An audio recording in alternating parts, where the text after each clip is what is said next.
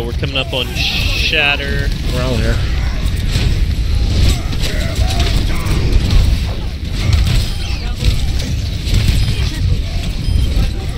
Kurt will get the.